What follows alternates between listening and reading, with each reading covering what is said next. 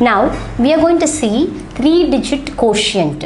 See the number is dividend is a four digit and the divisor is a what single digit. You can get the quotient is a three digit number. So look at the sum 1284 is divided by 6. You can get the three digit quotient. So look at the sum. Now we are going to solve the problem. So first we have to start with the what thousands place. After that hundred, then tens and ones. But first we have seen the step what group uh, that is regrouping method. First we have seen the regrouping, but e- because each uh, each step we are going to do. First we have to uh, divide the thousand. Then we are going to divide the hundreds. Then we are then we divide uh, what uh, tens. Then we divide last at last we divide ones. But here we just uh, do the normal division. But first we start with the what thousand. So compare with 1 and 6 so 1 is less than 6 so you can't divide. So better you take the next digit number. That is what is the number? 100 place what is the number? 2 so now 1 and 2 you must combine. That is 12 so 12 is what? What is 12 is less than 6 sorry uh, 1 is less than 6 and after the 12 so 12 is what? Greater than 6 sorry 12 is greater than 6 so uh, 6 twos are we are going to 12 we are going to we are going to take the number 12 as a dividend. 6 is a divisor. So we are using the sixth table. So how many time it goes? So in 12 that is in 12 6 goes how many times? 6 twos are 12 you must write in the thousand place. So 12 that is 6 twos are what is the answer? 6 twos are 12 so 12 minus 12 you can get what? 0 just cancel the 0 next you have to bring down the 8 so compare 8 and 6 compare 8 and 6 8 is greater than 6 so how many eh, in 8 how many time it goes? 6 means that is 6 ones are 6 you must 1 you must write the quotient place. 6 ones are 6 you must write the 6 below the 8 and it is closest to the 8 as well as what? It is less than 8 so you have to subtract 6 minus or 8 minus 6 you can get 2 after that you have to bring down the 4 so 4 that is 2 4 that is 24 24 so 24 is greater than 6 greater than 6 so you in 24 6 how many time it goes? That is 6 fours are 24 4 you have to write it on the quotient place 6 fours are 24 24 you have to write. So 24 minus 24 you can get 0 0 is a reminder and this is a quotient. I'll repeat the sum once again. 1284 divided by 6 so 1284 is a what? Dividend and 6 is a divisor. So you have to write thousand, hundreds and tens and ones. You have to write the place value on the top. First start with a thousand. So compare one and six. One is less than six. So you have to take the next digit that is 1 and 2 and that means 100 digit you have to take. 1 and 2 combine you can get 12 12 is greater than 6 and in 12 6 how many time it goes? 6 2s are 12 so 12 minus 12 you can get what? 0 so cancel the 0 then at tens place what is the number? 8 you have to bring down the 8 here. So in 8 6 how many time it goes? 6 ones are 6 1 you have to write it in the quotient place. And 6 ones are 6 6 you have to write it below the 8 and 6 is a what? It's a closest to the 8 and also lesser than the 8 so 8 minus 6 you can get 2 and after that compare with the 2 and 6 compare with 2 and 6 you must check it. So 2 is what? Less than 6 so you have to bring down the ones place value 4 so 2 4 combined together and you can get 24 24 is greater than 6 so 24 in 24 6 how many time it goes? 6 4s are 24 4 you must write it in the quotient place. 6 4s is 24 24 you have to write it here. So 24 minus 24 you can get 0 the 0 is a reminder and 214 is a quotient. And what is the question? You I have given 3 digit quotient. So 1 2 3 how many digit? 3 digit.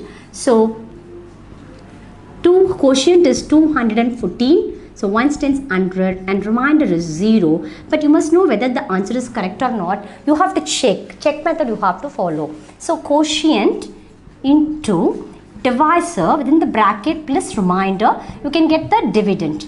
That is dividend.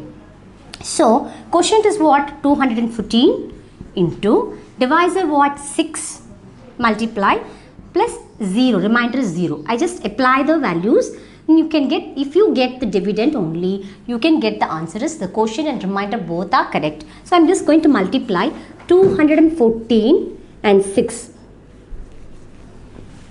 Better I'm doing here 214 multiply by what 6. 6 4s are 24, carry over is 2. 1 6 are 6, 6 plus 2, 8. And 6 2s are 12. So you have to write 1, 2, 8, 4. And what you're going to do, that is add with the remainder is 0. You can get 1, 2, 8, 4. What?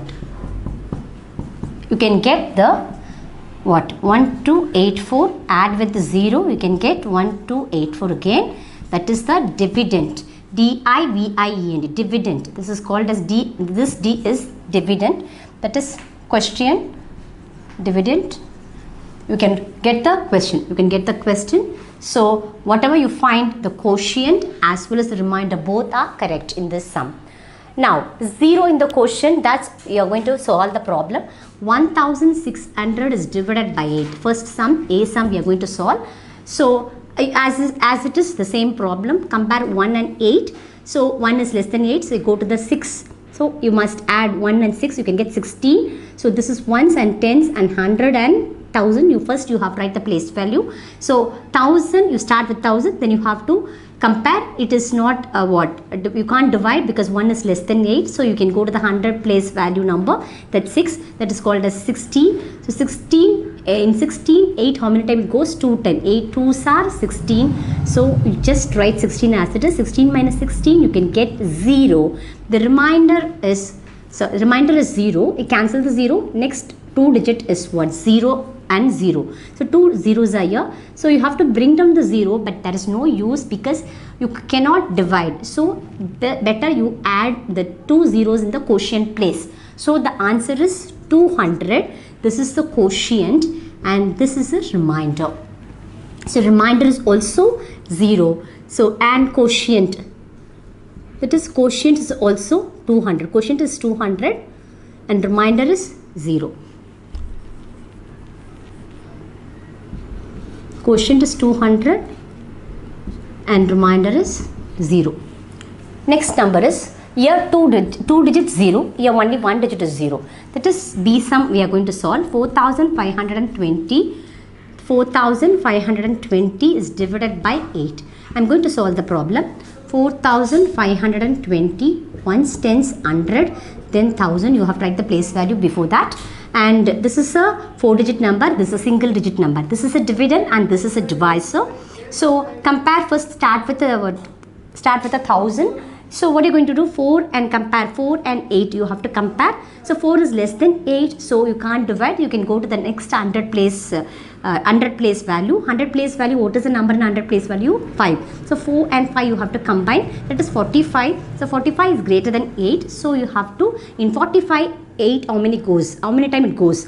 In 45, 8 how many time it goes? That is 8 5s are 40. The 5 you must write it in the quotient place and 45 minus 40 so 40 that is the 45 my 45 after the 45 you have to write the 40 below below below 45 you have to write this 40 so this is the closest to 45 as well as what? It is nearest value you have to write it. So 45 minus 40 you can get 5 minus 0 you can get 5 and after that you have to bring down the next digit 2 that is 52 because 5 and 8 compare means 5 is less than 8 so you can't divide. So you have to bring down the next 10th place value.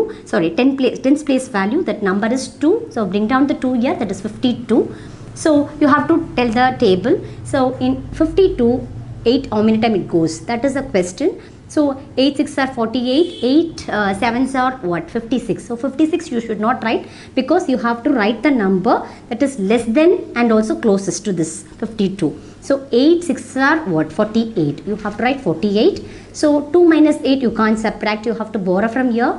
So 12 minus 8 you can get 4. 4 minus 4 you can get 0. The last but not least the number is last. What is the number 0? You have to write it here bring down the 0, the ones place value. So 4 and 8 you have to compare but 4 is less than 8 that is what you have to bring down the ones place value. What is the number in the ones place? 0. So now it is 40. 40 compare with 40 uh, in, in 40 how many time 8 goes means 5 10. So 8 5s are 40. 5 you must write it in the what quotient place Again, you have to write 40. 40 minus 5, you can get 0. 0 as a reminder and this is a quotient. So, quotient is 565 and reminder is 0. But you must know whether the answer is right or wrong means you have to do the check method again. So, quotient and divisor you have to multiply. 565 into 8. So, 8, uh, 8 5s are 40, 0 carry, for, carry, carry over is go to the tens place. 6 8s are 48, 48 plus 2 52 2. The 5 is, goes to the what 100 place. 8 5s are 40, 40 plus 5 45 4520 that dividend is come that means the question is come. So the answer is correct. Even though you add with 0 the reminder because the formula is quotient into divisor plus reminder you can get the dividend the question you got it. So again 4520 the same answer will come. So whatever you find the quotient 565 the reminder 0 both are correct